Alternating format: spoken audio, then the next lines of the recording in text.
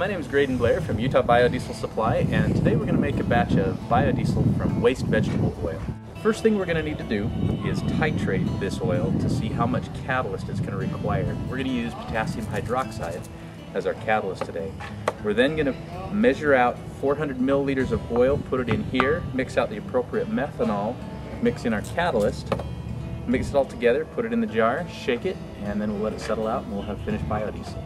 First thing we need to do today is titrate our oil. How we do this is very simple.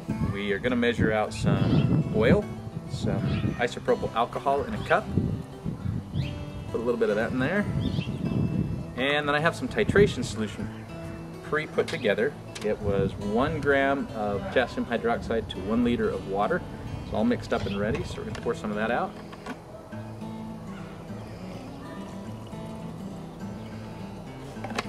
And then we'll titrate.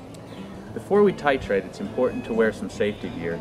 I'm going to wear safety gloves and I have some glasses on and we'll just get started. To do a titration is fairly simple. You put one milliliter of oil in a vial with 10 milliliters of isopropyl alcohol. You add some phenolphthalein and then you start dropping in titration solution until this turns a pinkish color then we record what that is. We're going to do three titration, titrations today. So with that, we'll pull a liter of oil, or a milliliter of oil out. Oil I'm going to titrate. Here's a milliliter. Pull 10 milliliters of isopropyl alcohol. Okay. These just have markings on the side. Put that in. Going to do is shake this up and get it ready. And a little bit of phenolphthalein to it.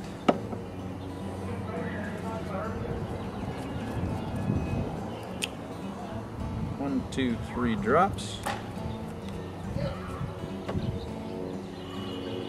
And then we'll begin the actual titration. To do that, I take a syringe Fill it up with 10 milliliters of titration solution. And slowly, the goal is to turn this pink. This almost turns pink on contact, so this oil is pretty darn good.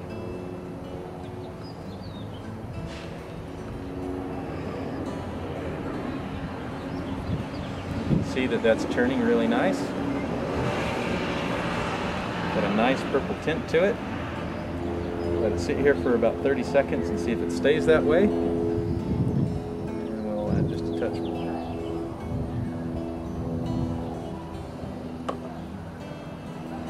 Okay, so that's titration number one.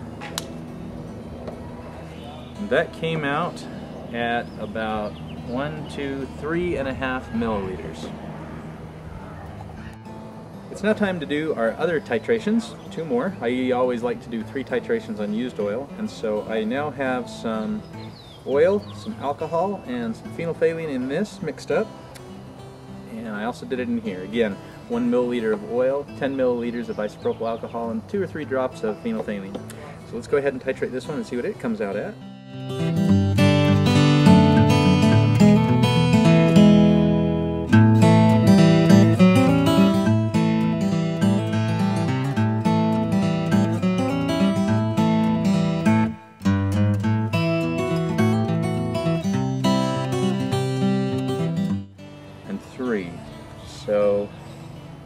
That it's an easy average. We normally add the three together, divide by three, but I know this is going to equal three. So that's our titration. We'll put this over here. Now it's time to make biodiesel. Okay, our titration came out to three after our average, so 3 plus 7 is equal to 11 grams per liter. We have 400 milliliters of oil that we're going to be working with today, and so to figure out how much catalyst we're going to use, we're going to do just some simple math. We know that 400 is basically 0.4 of 1, uh, 1 liter, and so if you take 0.4 times it by 11, you'll get 4.4. So we're going to use 4.4 grams in this to make our biodiesel and our methanol. We're going to measure out 4.4 grams and put it in 80 milliliters of methanol. So I just have a scale here. I've tared it to zero, so I'm just going to start putting some on till I get to my 4.4.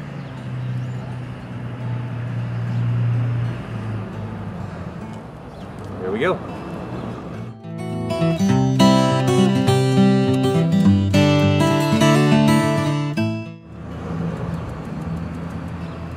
This and into the methanol it goes. It's going to take about five minutes for your catalyst to dissolve into your methanol. It might take a little bit more. And so we're just going to shake this up for a little bit. And once it's fully dissolved, we'll get ready to make the biodiesel. This is what the potassium hydroxide looks like as it's dissolving. It's just going to liquefy. I don't know if you can see that real well, but there's just a little bit of solid amounts of it left still on the bottom. While it's doing that, you can actually check the temperature of your oil. I've heated this up and I am sitting at right about about 135. When you're making it in larger equipment, you want to heat your oil up to about 130 to 135 degrees. You don't want to go over 145 because we don't want to start boiling your methanol off. So when oil's ready, so in a minute, once this is ready, we'll make our biodiesel in this jar. With our catalyst dissolved, it's now time to make biodiesel. I like to use small mason jars because they're easy to pour into, we can seal them and we can shake it up. So I'm going to take the lid off of this, pour my oil in,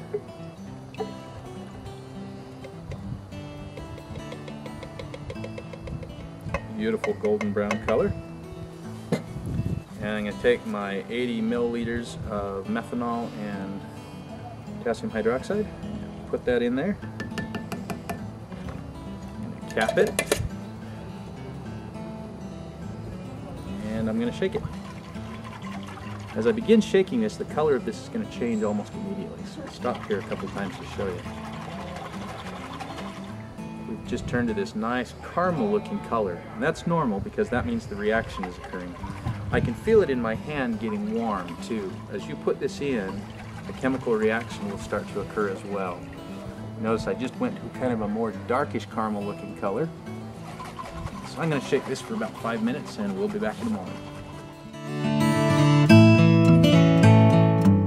Now shaken this for about five minutes and you'll notice that the color is just gone dark, dark, dark. That means the chemical reaction's gone on. This is biodiesel that was made from oil that was waste vegetable oil as well. And if you look close, you can actually see the separation layer that happened in this biodiesel. What you do is you let it sit for about 8 to 10 hours and the glycerin will settle out off the bottom and you'll get this beautiful separation layer between these two. The stuff on the top is biodiesel and the stuff on the bottom is your glycerin. After you've removed your glycerin, it'll be important to wash the biodiesel. To do that, you're going to use some water and you're going to mist that water into the biodiesel and what you'll notice is on the bottom you'll go cloudy and what we're doing is we're actually removing the excess methanol, catalyst, and lye from here that's still stuck in the biodiesel. Continue to wash until the water on the bottom goes clear, like this. So the water on the bottom of this one is nice and clear, and my biodiesel on top is still somewhat clear. Normally your biodiesel may not go as clear on top, and that's okay. That just means that you need to dry the biodiesel so that the water now will come out of it. You can do that through bubbling, or you can just leave the lid off and let it air dry. Most commonly though, bubbling will help. Heat is also a friend to all of this process, but we basically started with waste vegetable oil down here, mixed our chemicals, allowed it to settle. We got glycerin out of here, we remove the glycerin, we start to wash it, and then once it's finished washing, we dry it, and then we're ready to have the biodiesel to take and drive down the road. This is what finished bio looks like when it's done. So we now have the whole gamut of what biodiesel looks like when it's made. For Utah Biodiesel Supply, this has been making a small batch of biodiesel from waste vegetable oil. Thanks for watching. Stop on by our website at utahbio.com.